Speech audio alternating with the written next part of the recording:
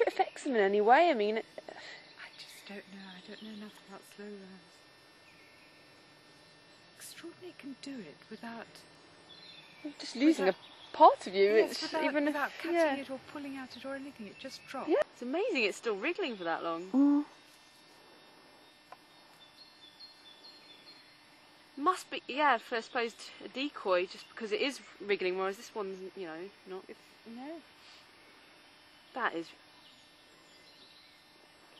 pretty wonder how it does just drop off. I wonder what it's.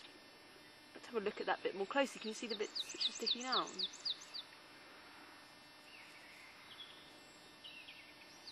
Just obviously. It's kind of slowing down now.